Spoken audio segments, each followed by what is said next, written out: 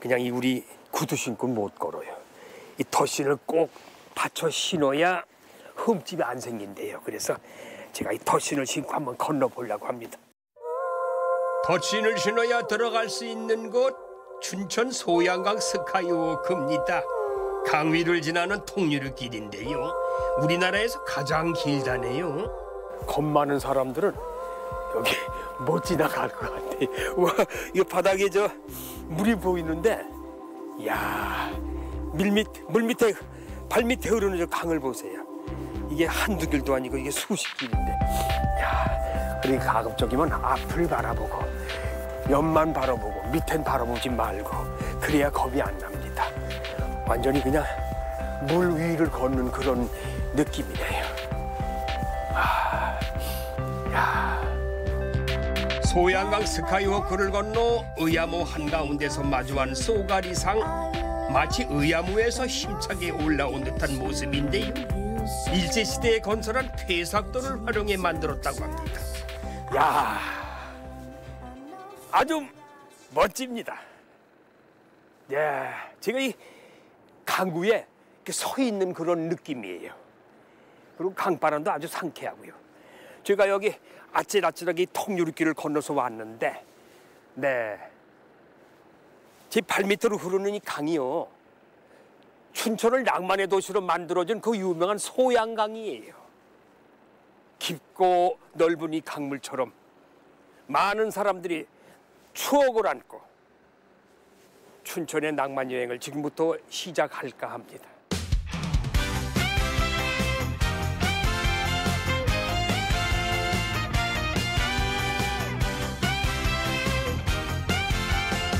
강과 호수로 둘러싸인 춘천 의암호를 바라보며 즐길 수 있는 풍경입니다. 그 제 옆에는 지금 소양강 처녀의 노래비도 서 있고요. 또 제 뒤에 지금 소양강 처녀 오늘 목욕을 온 날이에요. 일년에 한두 번은 저렇게 목욕 찌든 때를 아마 씻어주는 것 같은데 아 얼마나 또 잘 목욕을 했는지 한번 구경하겠습니다. 춘천하면 생각나는 국민 애창곡 소양강 처녀 다들 아시죠? 노래 속 주인공인 소양강 처녀라는데요. 저렇게 애절한 사연을 간직한 저 소양강 처녀상인 누구를 기다리고 있을까요? 먼 곳을 바라보고 있으면서 또 누굴 그리워하고 있는 것 같은데 아주 가녀린 처녀로만 생각했는데 직접 와보니까 너무 커 엄청 커 너무 장군 같고 늠름하고 씩씩한 모습 같아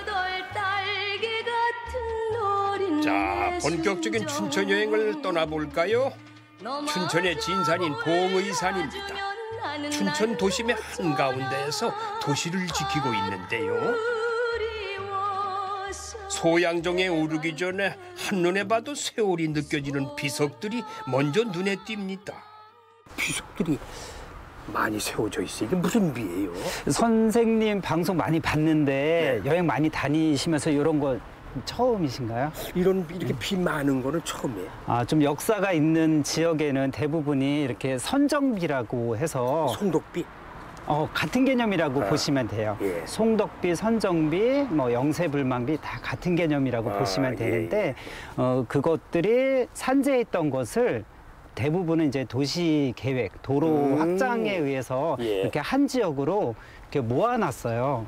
그래서 후에 이제 주민들은 비석거리라고 이제 쉽게 그렇게 부르고 있습니다. 비석거리. 예, 예. 어. 조선 시대 후기 춘천에 부임한 관리들의 업적을 기리며 세운 비석들이라는군요. 춘천 비석거리에는 26개의 선정비가 세워져 있는데요. 춘천에는 아마도 덕 많고 선정을 베푼 분들이 많이 오셨었나 봅니다. 그럼 이게 사후에 후손들이 다 또 이게 아니죠 지역민들이 지역민들이 예, 사후는 아니고 보통 이곳에서 업무를 하다가 이곳을 떠나면 지역민들이 그 관리가 우리 지역에 큰 공을 세웠다라고 해서 감사의 뜻으로 사실은 이제 이렇게 세우게 되는 거죠. 돌아가신 후에 세운 게 아니라 살아생전에 여기서 근무하다가 다른 데로 이동하면은 그 보통은 사람의 그렇게. 감사해서 예, 예. 성독비라든지 이런 공독비를 세워줬구만요. 맞습니다. 예. 다시 봉의산을 향해 올라갑니다.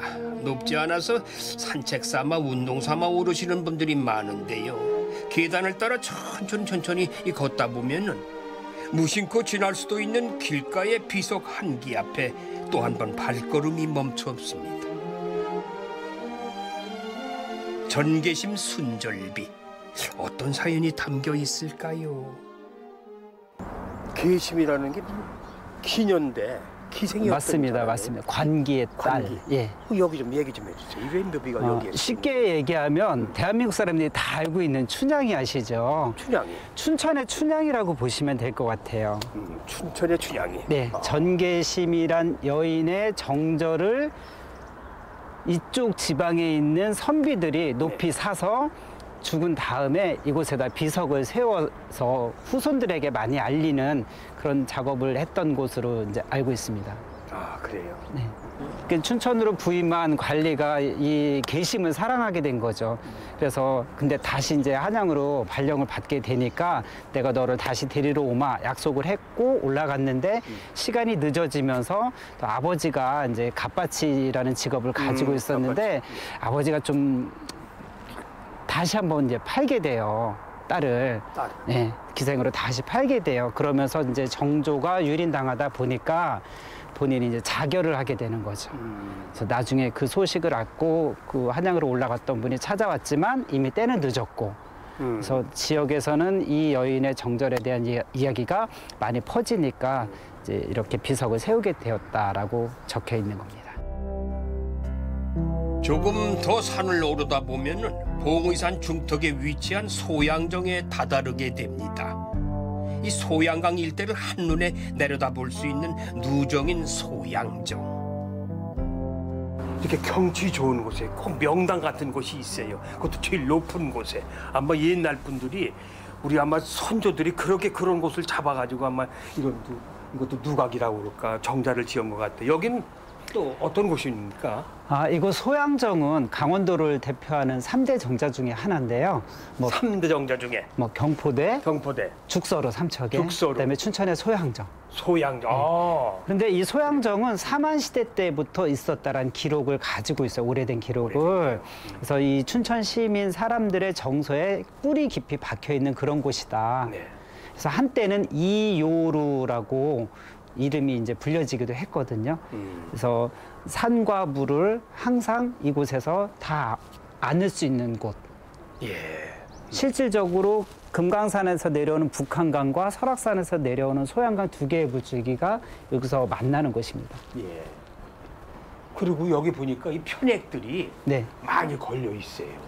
이게 다 이게 그래도 좀 이름 깨져 있는 사람들의 글씨 같은데. 그렇죠. 뭐 다산 그렇죠? 정약용 선생님도 계시고. 어, 그래요? 정약용도 있어요? 뭐 여기 그 김시습이라든가 어. 그다음에 뭐 상촌 신음 선생님이라든가 많은 그러니까 예로부터 지금 오늘 선생님 여행하시는 코스가 예. 조선시대에 그 시인 묵객들이 유람하는 그런 코스를 그대로 딱 밟으신 거예요. 아, 이 경치도 좋지만은 춘천 시내가 하늘에 다 내려다 보여요. 이렇게 이렇게 쫙뺑 들어서 산까지 쫙. 도심을 휘감은 물줄기와 멀리 보이는 산까지 가슴이 뻥 뚫립니다. 저는 지금 함께 망대로 올라가는 골목길에 와 있습니다. 이 초입에. 예, 그 망대가 무엇인지 이게 바라볼 망자 같은데 이 망대가 뭐예요? 맞아요? 바라볼 망자. 네, 천 맞습니다. 바라볼 수 있는 높은 지대. 음, 바라볼 수 있는 높은 지대. 네네. 그럼 전망대. 네, 전망대라고 요즘은 이제 전망대 역할을 많이 하고 있습니다. 네, 올라가서 보시면 아시겠지만 예전에는 다른 기능도 같이 겸하고 있었다. 이렇게 알고 계시면 될 것 같아요. 올라가서 좀 구체적으로 말씀해 주세요. 네, 알겠습니다. 예. 건물과 건물 사이 좁은 길을 통해 망대에 올라가다 보면은 마치 타임머신을 타고 온 듯합니다. 옛날 모습이 남아 있는 동네. 남아 있는 골목 이렇게 네. 얘기도 되겠네요. 그죠? 네, 거의 뭐 그대로 멈춰 있다라고 보시면 될 것 같습니다. 6, 70년대 좁은 골목길 풍경이 아직도 남아 있습니다. 나직나직한 지붕들 사이로 우뚝 솟아 있는 곳 망대. 마치 등대처럼 서 있는데요. 일제 강점기 그 산동네의 화재 감시를 위한 망루였다고 합니다. 가파른 계단을 올라가면은 잃어버렸던 빛바랜 풍경들이 다시 살아난 듯 정겨운 모습들이 선물처럼 다가옵니다. 여기 올라오시니까 춘천 시내가 이렇게 딱 보이죠. 근데 여기가 네. 왜 망대를 된 이유가 뭐예요? 왜 여기다 망대를 지었을까? 이 망대의 실질적인 것은 이렇게 전망대, 요즘 생각하는 전망대 개념보다는 초소의 개념에 가깝다라고 보시면 될 것 같아요. 예, 예. 옛날에 초소면 소방 소방소 앞에나 저거 있었는데. 그렇죠. 어, 그런데 여기가 또 이제 지대가 높다 보니까 뭐 산불 감시나 화재 감시 초소로 일제 시대 때 그런 목적으로 지었다라고 해요. 예, 예, 예. 그런데 뭐 또 여러 가지 이제 이야기가 있는데 도청 밑에 이제 그 경성 감옥이 있었는데 그게 이쪽으로 서대문 형무소 춘천 분원으로 옮기면서 이쪽에 거대하게 8,400평이라는 부재 크게 생겨요. 그러니까 목적을 두루두루 하지 않았을까 이제 그렇게 보여지고 있고요. 요즘은 이제 민방위 훈련이라든가 네. 이런 거 그리고 또 이제 70년대, 80년대 이 망대를 중심으로 해서 집들이 많이 들어서다 보니까 지금 2020년대, 7, 80년대 생활상을 그대로 느껴볼 수 있는 골목길 그래서 뭐 여행자들도 많이 오고 있습니다.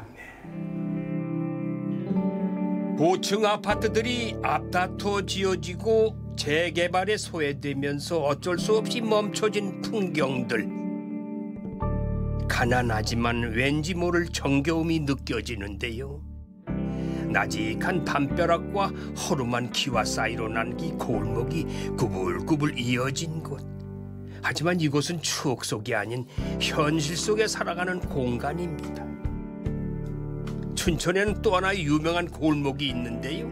온통 회색빛이었던 좁은 골목길에 생기를 불어넣은 것은 바로 이 알록달록 무지갯빛으로 그려놓은 벽화입니다. 이런 벽화는 화가들이 그렸겠죠. 아, 주- 화가가 그린 작품도 있고요. 주민들과 학생들이 지- 지원해서 한 것도 있고 다양한 형태인데 수준이 조금씩 이제 다르잖아요. 정감 있는 것도 있고, 예, 전문적인 것도 있고. 음, 근데 이렇게 그 벽화를 그, 그려놓으니까 동네가 분위기가 달라져요. 일단 밝고 음. 옛날로 돌아가는 것 같기도 하고. 그렇죠. 그 풍경이 벌써 다르다니까. 이렇게 그냥 센 옛날 골목 생각하다 들어다가 어 이게 무슨 골목이야? 벽화가 있네 이런단 말이죠. 어둡고 칙칙했던 골목길에 그림이 더해지면서 화사하고 걷고 싶은 길이 됐습니다. 재미있는 이야기와 감동을 주는 낭만 마을 벽화 골목.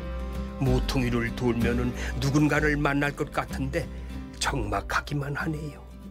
그런데 참 이 골목이요 예전에는 여기가 애들이 놀이터였어. 우리도 골목에서 많이 놀아봤잖아요. 저도 아, 놀아봤습니다. 여기서 구슬, 구슬치기 하고 이 제기도 네. 차고 별짓 다 했잖아 애기들. 근데 큰길 깔아 안 나고 이 골목만 이용했다고 애기들이 왜 차가 안 지나다니까 부모들이 지금 네. 안심하고 내보낼 수 있는 곳이 골목길이라고.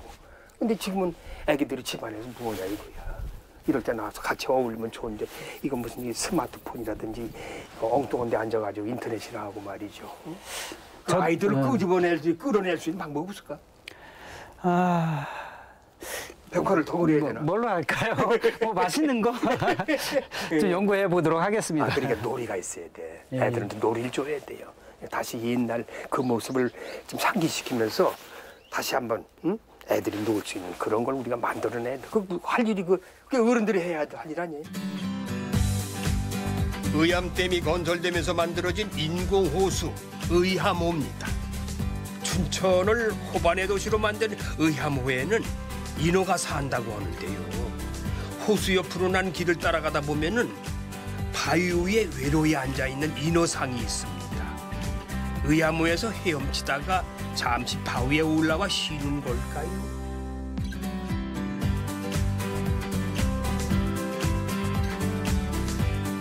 사막산과 의암호가 어우러진 풍경은 사시사철 색다른 매력으로 다가오는데요. 북한강을 옆에 끼고 또다시 달려봅니다.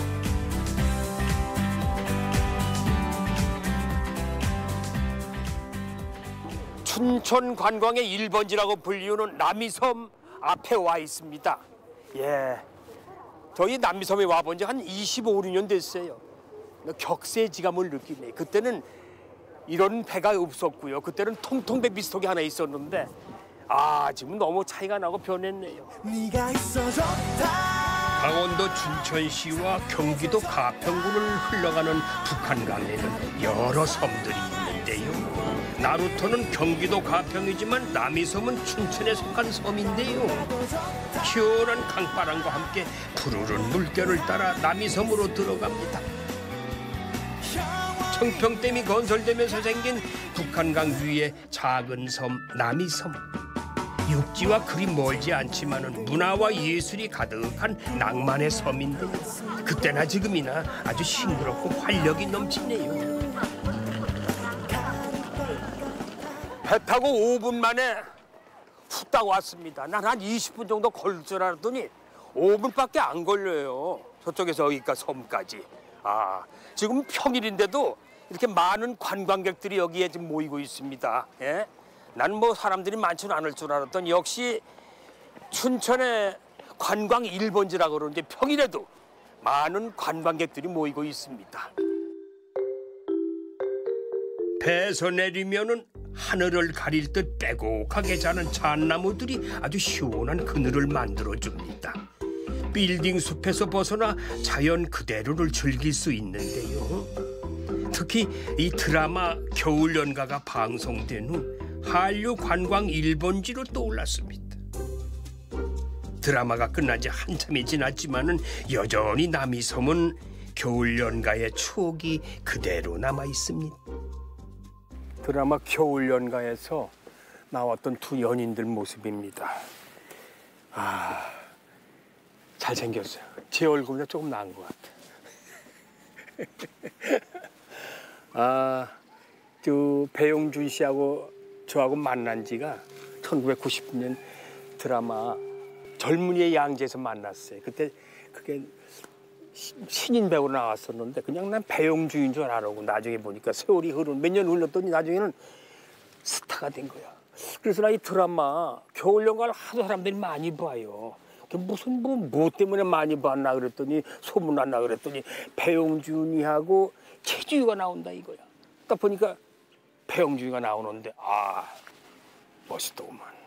역시 사나이답고 그 모습이 아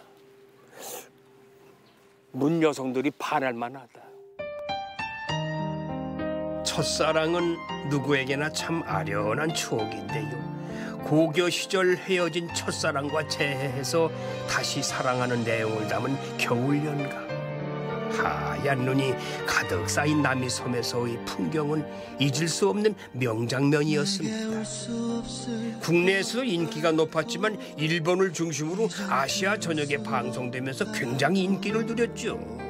지금도 그때를 추억하는 공간이 곳곳에 있는데요. 드라마에서 주인공이 타던 자전거, 그래서 남이섬에 오면 자전거를 꼭 타야 한다나 뭐라나.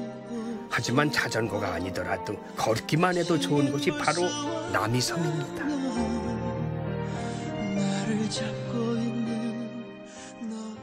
아니 남이섬에 웬 노래박물관이 있어? 이게 뭐 이게 왜 여기 있는 거예요? 아, 저희 남이섬이 예. 이 문화의 어떻게 보면은 메카 같은 곳이잖아요. 한국 관광 문화에. 어, 그렇지. 예, 그래서 이제 여기에는 어, 한국에 대해 한국의 안에 이제 악기라든지 세계 민속 악기 뭐 이런 것들이 이제 준비가 되어 있어요. 그래서 많은 관광객들께서 들어오셔서 어, 음악도 즐기시고 세계 좀 특이한 악기들도 구경하시고 하시는 곳이에요. 아, 그래요? 한번 들어가 보시죠, 저랑.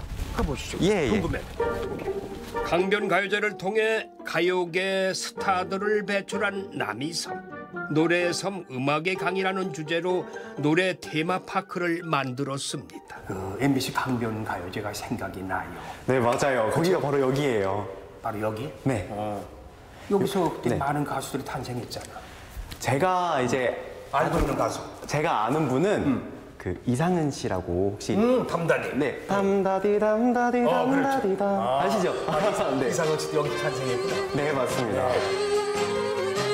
매년 여름 북한강변에서 열렸던 MBC 강변가요제는 젊음의 노래가 울려 퍼지던 낭만의 섬이었는데요. 뭐 이 담다디 젊음의 노트 그대 먼 곳에 아직 지금까지도 큰 사랑을 받고 있는 추억의 노래들이 바로 이곳에서 탄생됐습니다. 뜨거운 여름, 뜨거운 청춘의 열정이 있던 곳. 젊음을 불사르던 곳이야. 이 강본 가요제 여름에 네. 여기서 옛날에는 캠파이어 밤에도 캠파이어 열렸고 근데 언제부터인가 이게 다 끊겨진 거예요. 어, 그러니까 더 이상 뭐 다 연장이 안 되는데 뭐 무슨 이유인지 모르겠고 아무래도 사정이 있었겠죠. 이게 계속 이렇게 이어져 나가야 젊은이들이 와서 몸을 풀 수 있고 마음대로 소리 지를 수 있고 그런 장소가 필요한 대한민국에 그게 남이섬이었는데 좀 섭섭해요. 네, 그래서 저희가 많은 공연들로 이제 놀러 오시는 젊은 분들 포함해서 어르신들까지 그- 즐길 수 있으신 아주 많은 공연들을 준비하고 있어요. 그렇습니까? 네. 대중음악의 역사와 세계의 다양한 악기를 만날 수 있는 노래 박물관입니다. 중국의 한 작곡가가 평생 수집한 악기들을 기증해 가지고 이곳에서 전시하고 있습니다. 쉽게 접할 수 없는 고대 악기는 물론이고 세계 각국 다양한 민속 악기를 만나는 공간인데요.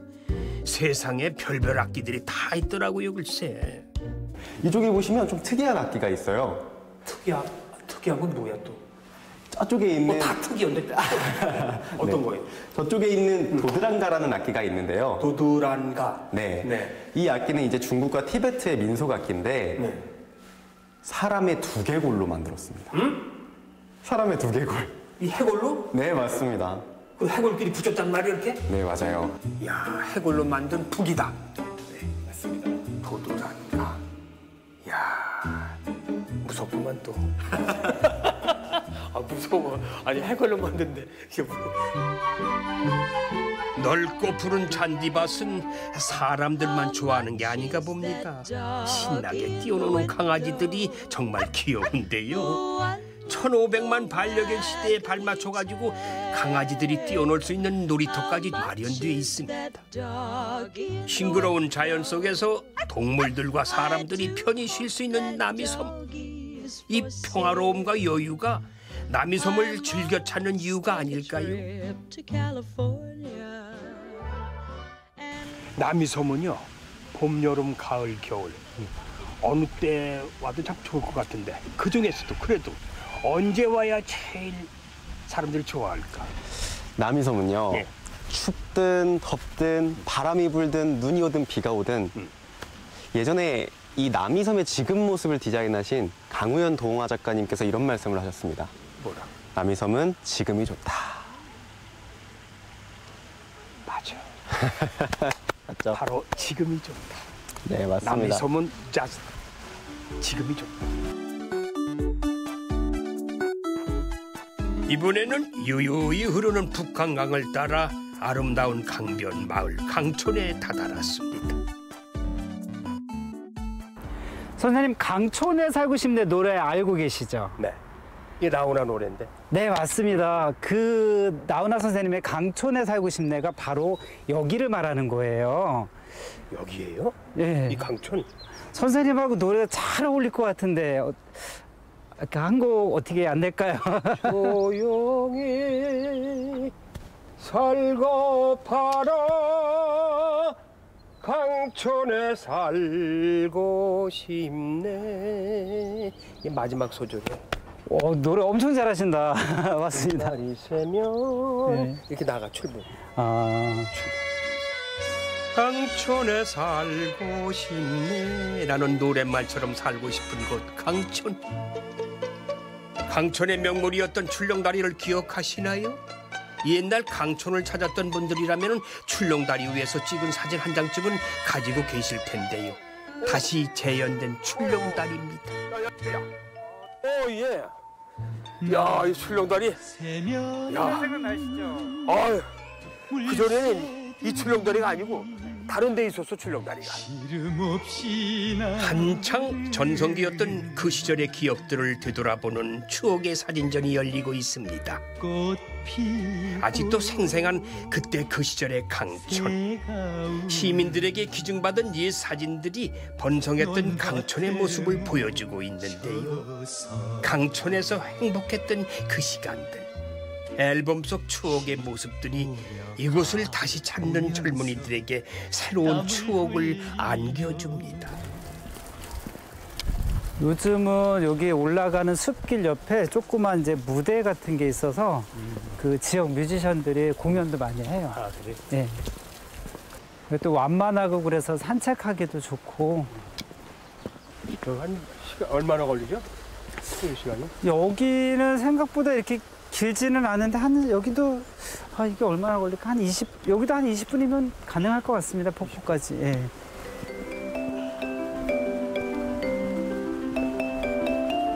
시원하게 흐르는 계곡물을 따라서 한 걸음 한 걸음 가볍게 걷는 길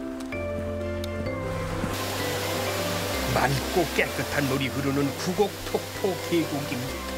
아마도 이 계곡 끝에는 폭포가 있을 텐데요. 시원한 물소리를 들으며 걷다 보면 저절로 힐링이 되는 길입니다. 드디어 도착한 구곡폭포.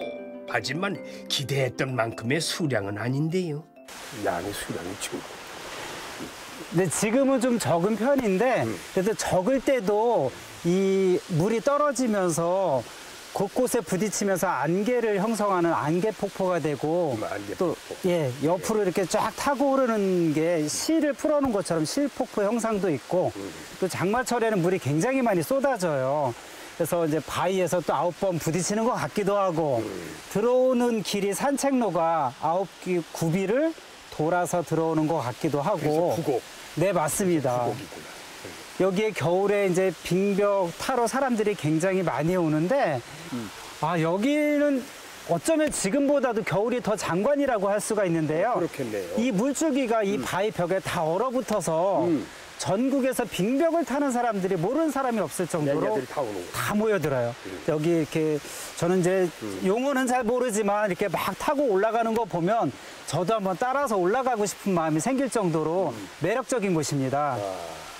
물론 여름에는 비가 좀 내리면은 이 쏟아지는 게이 폭포가 장관이겠고. 네네. 그럼 저 이- 어디로 올라 여기도 올라가는 게 다 막힌 거예요? 선생님 이 물을 따라가면 뭐가 나올지 궁금하지 않으세요 혹시? 저 꼭대기 예, 예. 산이겠지 뭐. 산이 산은 산인데 산 안에 배 형국을 닮은 마을이 있어요. 문배 마을이라고. 마을? 예. 문배 마을로 넘어가는 길입니다. 이 봉화산 기슬에 있는 마을이라고 하니까 약간의 등산이 필요한데요. 숨이 깔딱깔딱 넘어갈 만큼 가파른 깔딱 고개를 넘어서 비로소 한적하고 아늑한 분지 마을이 나타납니다. 배 모양을 닮은 자연부락으로 현재 열 가구 정도가 살고 있는 문배 마을. 마을 한가운데에는 제법 큰 생태 연못이 있는데요. 물 정화와 구곡 폭포의 수량을 확보하는 역할을 합니다. 워낙 오지라 6.25 전쟁도 모르고 지나간 마을로 유명한데요. 역시나 평온하고 조용합니다.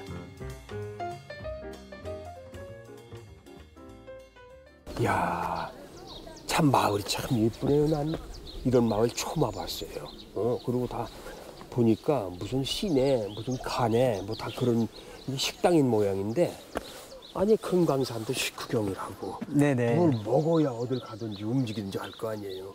뭐 먹을 데 없어요, 뭐. 선생님 여기가 토속 음식이 굉장히 유명한 곳이에요. 이 동네가? 예, 예. 어. 그래서 뭐 여기 사방이 산이다 보니까 어, 산에서 나는 산나물로 이렇게 비빔밥 같은 것도 하고 도토리묵, 음. 그다음에 뭐 백숙, 아, 이거. 여러 가지 음식들이 있는데 대체적으로 다 토종 토속 음식을 많이 하세요. 어, 그래서 예. 많은 사람들이 찾아오겠어. 이거 먹으러 보니까.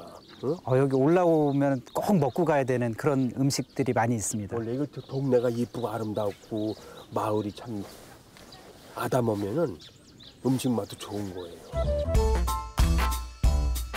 문배 마을에서 맛보는 토속 음식들 도토리묵, 산채 비빔밥, 손두부까지 하나같이 먹음직스럽고 정갈하네요. 이 끓는 것만 바라봐도 배가 부르네요. 음, 아주 침이 꼴깍꼴 넘어가요. 사장님이 여기 들어오신 지 얼마나 되셨어요? 이, 동- 이 마을에? 한 27년. 27년? 네. 그럼 그때부터 이 저 음식만 파신 거예요? 뭐요? 농사 지셨나?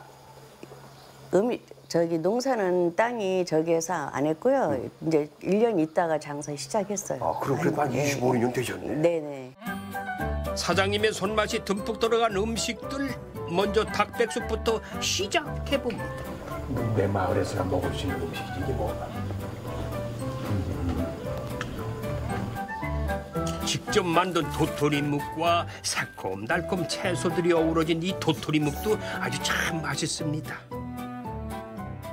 해바라기 씨, 은행, 밤, 자, 아. 호두 음. 다 들어갔네요. 이런 게 바로 자연의 맛이고 고향의 맛 아니겠어요? 천천히 오시면 닭갈비, 뭐 막국수 그게 전부가 아니에요. 이 문배 마을에 오시면은 아 이렇게 맛있는 음식이 여러분들 기다리고 있습니다. 이 토속 음식 아닙니까? 이렇게 비벼 드시면은 아, 뭐 서울에서 음식 드시는 것보다 이 찾아오시 드셔가지고 등산하셔가지고 구곡법포에 나서 오시면 이 좋은 음식이 여러분들 기다리고 있습니다. 적극 추천합니다.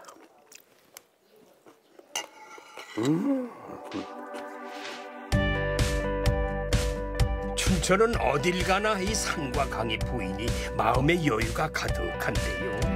그 중에서도 더 깊숙이 자연을 만나러 가봅니다. 울창한 산 속에 위치한 강원 숲 체험장. 춘천 댐을 지나가지고 예. 이 산속 구비구비 여기까지 왔거든요. 예. 그런데 와 보니까 저기 딱 강원 숲 체험장이라고 써 있어요. 예. 여기는 무슨 체험을 하고 어떤 곳인지 좀 저희 강원숲 체험장은 강원도에서 운영하고 있는 국립휴양림으로 숲속의 집과 주변으로 여기 명상장, 산책로가 개설되어 있고 네. 아이들을 위한 숲속모험 동산, 유아숲 체험장, 그리고 활속의 체험장 같은 각종 체험 시설들이 구비되어 있습니다. 네. 저기 보니까 저 통나무 집 같은 것도 있어요. 음, 예. 숙박할 수도 있나요? 예, 저기 통나무 집에서 이제 숙박을 하실 수가 있는데 한번 가보시겠습니까? 예, 한번 가보시죠 뭐. 예. 울창한 자연의 기운을 가득 느끼면서 쉴 수 있는 숙소입니다.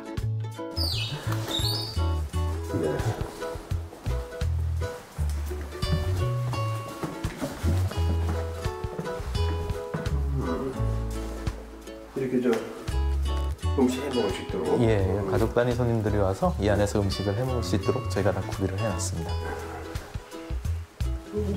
이층 올라가는. 예, 여긴 또 저희가 예 다락방에서 2층에서도 이제 쉴 수 있습니다. 애들은 좋아하겠다. 이 다락방 올라가는 거. 예, 여기 아이들이 많이 좋아하고 있습니다. 어, 여기 꽤 넓은데요? 여기 스무 여러 명잘수 있어, 그러니까. 예. 어, 이 정도면 훌륭하죠. 이제는 성수기 도 다가오는데 예. 이 성수기 다가올 때 되면 분주하시겠어요. 어, 예, 저희 더군다나 이것도 반계약하는 사람들, 그죠? 예, 많죠. 예. 어, 저희- 인- 인터넷으로 늘 하겠지만은 예. 어떻게 해야 되는 건지 그리고 또 많은 사람들이 이렇게 밀려올 것 같아요. 예. 어. 저희가 여기 이제 많으신 분들이 찾아주시고 계신데요. 저희가 여기 숙박시설 예약은 인터넷을 통해서만 예약을 할 수 있습니다. 예, 그래서 그 당일로 이제 하루로 이렇게 왔다 가시는 분들은 여기 오셔서 이제 당일로 이용하실 수는 있, 계시, 있으시고요. 창문을 열고 베란다로 나가면은 오직 자연뿐. 사계절 느끼는 자연의 변화와 나무에서 뿜어내는 신선한 공기. 정말 자연 그대로의 자연을 마주합니다. 야, 이 밖에 나오 베란다에 나오니까 이 경치가 또 이거 다른 경치네. 어? 이 저기 강원숲 체험장이 한눈에 다 이게 내려다 보이네요. 저기서부터 여기까지 쭉. 와, 공기 맑고 산 좋고 물 좋고 다 좋네. 음, 나무 좋고. 자연과 친구가 되는 강원 숲 체험장. 삿갓봉 자락에서 꽤 넓은 면적을 자랑하는데요. 편안하게 즐길 수 있는 숙박 시설과 음식을 즐길 수 있는 어울림 마당. 그리고 운치 있는 정자와 시원한 계곡이 숲속에서의 시간을 더욱 풍요롭게 해줍니다.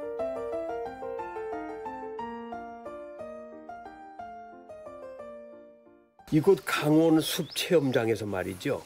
인기 프로그램, 인기 체험할 수 있는 게 이 활속이라고 그러는데 맞습니까? 네, 전국에서 어, 어, 어, 남녀노소 해가지고 그 활성 국궁 체험을 할 수 있는 시설이 별로 없는데요. 예. 예, 여기 어, 강원숲 체험장에서는 가능하기 때문에 여기를 이용하시는 분들이 자주 이용을 하십니다. 아 그래.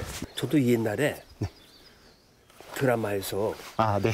장군이 마루 위에서 활을 쐈거든. 근데 여기선 지금 달리는 건 아니잖아요. 그냥 서서 쏘는 건데 이 정도면 맞추겠지 뭐. 누구나 즐길 수 있는 이 활쏘기 체험. 이 활을 쏘기 전에 활의 역사도 다시 한번 읽어봅니다.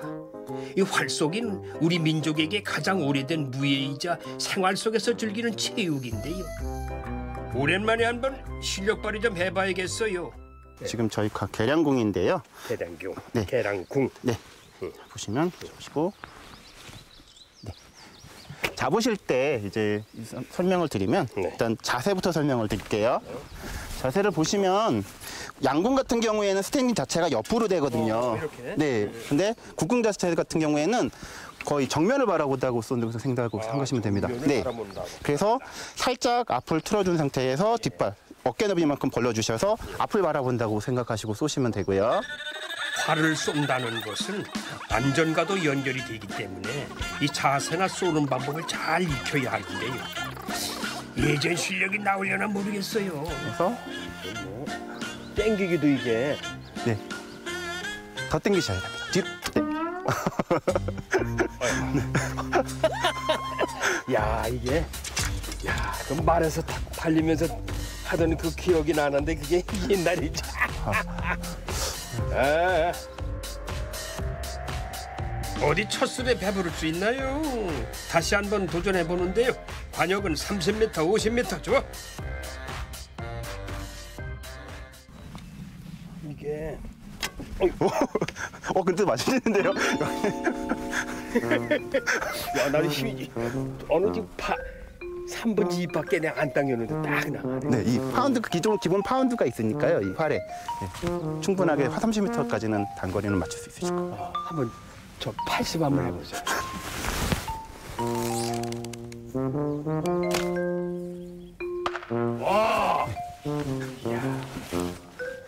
그래서 난 이게 잡고 땡길 때 네. 이게 문제구만. 네, 이게 국궁사법이 가장 이 사법엔 적합한데요. 조금 어려운 게 이제 이 적응하는 데가 좀 어려우신 겁니다. 네. 쉽진 않아도 나름 재미가 있는 활쏘기 체험. 처음엔 조금 힘들어도 도전하고 또 도전하다 보면은 언젠가 맞추게 되지 않을까요? 재미도 재미지만은 활 쏘는 동안 운동이 됩니다. 옛날 실력이 어느 정도 살아나는 것 같은데 경쾌한 명중 소리 들으셨죠? 맞췄어. 난이 활쏘기 체험은요 재미가 있어. 바른 자세를 가져야 되고 멀리 활을 쏘기 위해서는 바른 자세도 써야, 되고요. 또 당기시려면 힘도 있어야 되고. 네, 그리고 정, 집중할 수 있는 정신도 있어야 되고요. 정심짓죠. 네. 통일. 그렇기 때문에 모든 게 중에 가장 좋은 운동이라고 보시면 될 것 같습니다. 그러니까 뭐 산만한 사람들, 네, 정신 집중이 필요한 어린이들 그렇습니다. 그런 분들은 꼭 필요하네요. 네. 나 같은 사람들. 어, 푸르름 가득한 계절 나무들이 우거진 산책로를 따라 힐링의 숲을 걸어봅니다.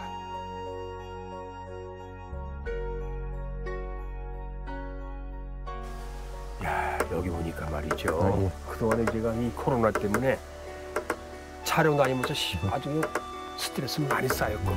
근데 여기 와서 딱 이렇게 산새 소리와 이 맑은 공기 소리와 바람 소리와 그냥 여기서 한 방에 씻겨 나가는 것 같아. 여름에 오면 각종 프로그램들도 많이 올 수 있고 여기가 그 시내보다 온도가 낮아서 더 시원하고 좋습니다. 여름에 다시 한번 방문 부탁드리겠습니다. 여름에는 조금 좀 비가 더 내리고 그러면 이 계곡물 소리가 기가 막힐 것 같아. 예, 계곡물 소리 들으면서 여기서 편히 휴식을 취하시면 더 좋습니다. 예. 마지막 여정은 경춘선 폐철로 지금은 기차가 다니지는 않지만은 철길 위에 쌓인 추억은 여전합니다. 예전에는요 서울에서 강원도 춘천하면 최전방인 줄 알았어. 그래서 춘천 쪽으로 군대 가면은 야 걱정들 많이 했던 부모님들이. 응? 더먼 곳이 화천이고 더 그런데도 철원이고. 응? 근데 그때는 춘- 춘천만 해도 최전방으로 전방으로 생각했거든. 아 지금은 뭐 지금 가- 느낌. 어떠세요? 그쵸, 엄청 가까워졌죠. 예, 예. 그러니까 이 경춘선이 1939년에 이제 처음 개통이 됐는데 지금은 뭐 고속도로도 있지. 그렇죠. 그다음에 경춘국도도 있지. 예. 그다음에 복선 전철도 있지. 맞아. ITX도 있지. 음. 교통이 너무 많아져 가지고 너무 많은 건 아니고 음. 교통이 다양해져서 서울과의 접근성이 굉장히 가까워요. 그리고 자주 있어요. 자주 예. 있어. 그럼 옛날 경춘선 있죠. 네네. 성북에서 춘천 오는 네네. 경춘선 열차는 어떻게 됐어?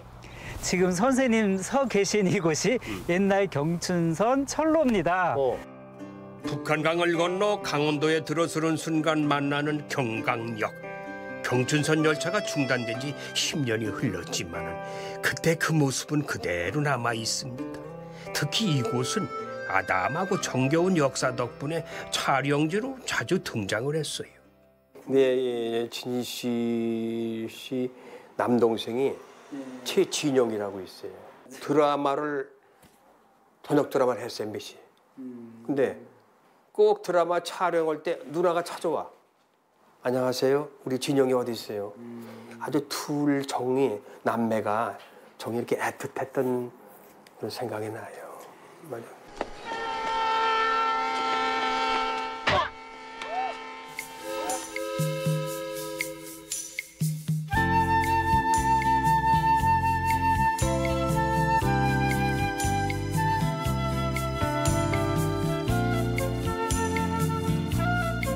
이제는 이렇게 영화 속에서 지난날의 추억을 되돌아봅니다. 북한강 물안개를 헤치며 달린 춘천 가는 기차.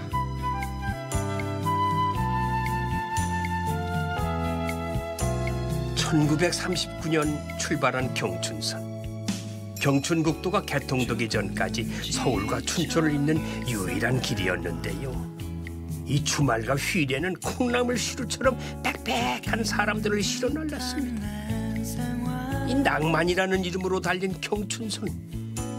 2010년 12월 경춘선은 역사 속으로 사라지고 지금은 복선 전철 시대를 맞았습니다.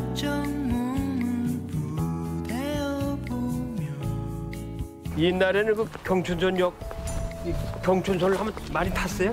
저는 이제 어렸을 때 엄마랑 타고 나중에 이제 서, 어, 학교 다닐 때 네. 그때 저는 이제 마음껏 놀지는 못했지만 기차 안에서 주말이면 항상 신문지 깔고 가운데도 앉고 사이 끼고 그 팔걸이에 걸터 앉아서 기타 치고 어. 연결하고 연결되는데 사이 있잖아요. 네. 거기에서 이렇게 바깥에 창 보고 또 맨 뒤에 한번 매달려 보고 싶고 막 이런 거 늘 주말만 되면 이 춘천으로 놀러 오는 사람들 때문에 이제 항상 나도 덩달아서 여행 가는 느낌? 예, 그런 느낌이었었죠, 항상. 철도와 철도 사이의 섬처럼 세워진 백양리역 폐역입니다. 춘천의 이 사진들과 추억이 고스란히 남아 있는데요. 낭만과 추억의 경춘선 역사를 한눈에 알 수가 있습니다. 마치 오래된 드라마 세트장 같기도 한데요. 기차는 오지 않지만은 이곳을 찾는 많은 관광객들 덕분에 외롭거나 쓸쓸하지는 않습니다.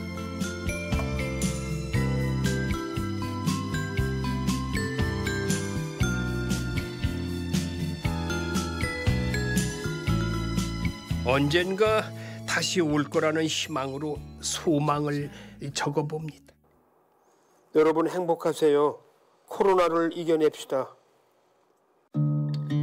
경춘선의 하이라이트였던 옛 강천역입니다. 젊음이 출렁이고 청춘과 사랑이 있는 로망의 철도였었죠. 참 이게 강촌 역사가 이 젊은이들이 주말만 되면 여기 들끓었어요. 발 디딜 틈이 없던 곳이야. 그렇게 사람들이 많고 네네. 젊은이들이 스트레스를 풀 수 있는 장소가 강촌이었거든. 그 당시.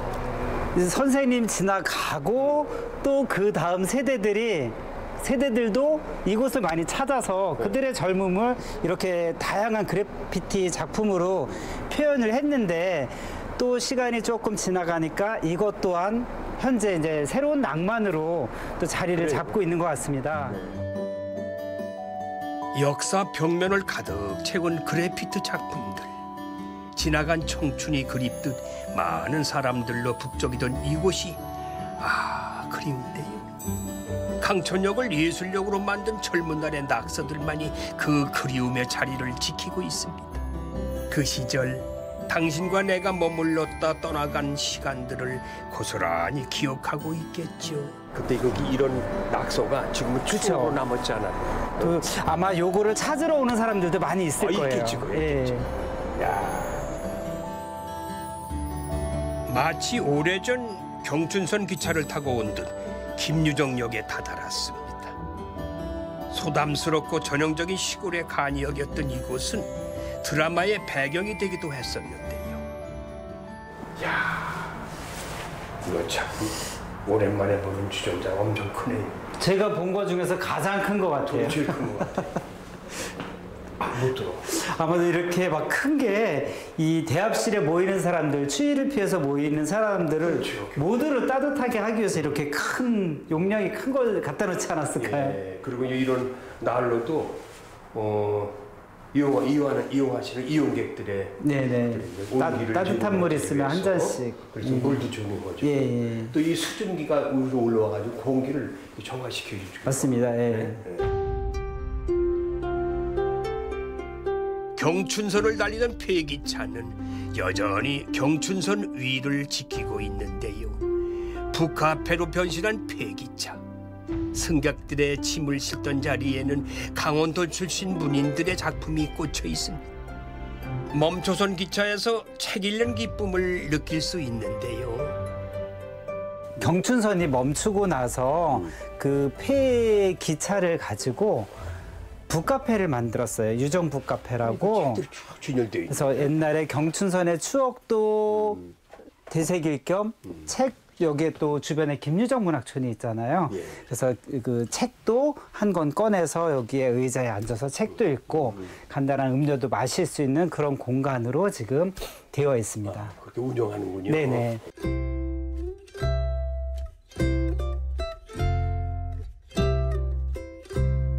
역사 사진과 함께 글귀 하나하나에 웃음도 나고 마음이 따뜻해집니다.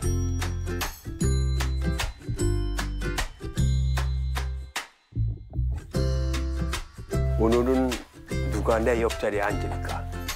싱숭생숭 두근두근. 또 아이고 또 삼식이 놈이네. 아이고 잠이나 자자 야. 야, 문과 참 재밌네, 그지? 항상 기차 타면은 옆자리에 누가 앉을까가 관건이야.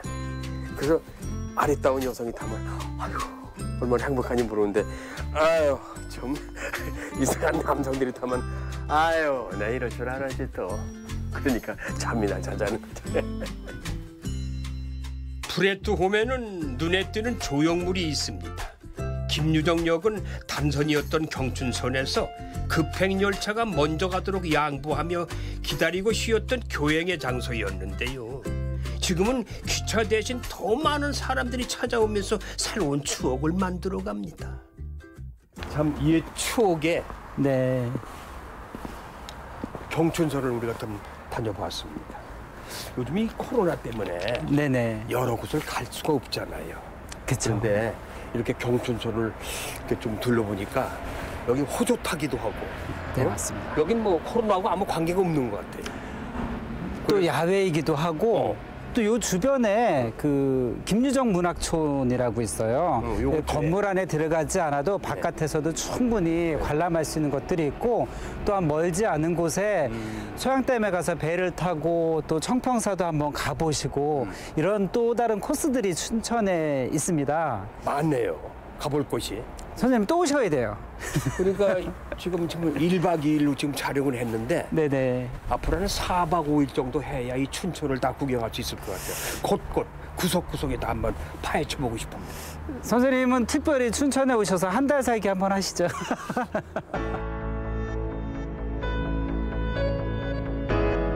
산도 좋고 물도 좋고 언제나 가면은 반기는 푸른 자연이 있습니다. 다시 올 수 없어 더 애틋한 청춘의 그림과 젊은 날의 추억이 깃들어 있는 것. 그 추억들이 강물을 타고 흐르며 낭만도시라 부르는 강원도 춘천. 느릿느릿한 경춘선은 없지만은 춘천 가는 기차에 몸을 싣고 지난날의 추억을 만나고 새로운 추억이 쌓이는 춘천으로 떠나보시면 어떠실까요?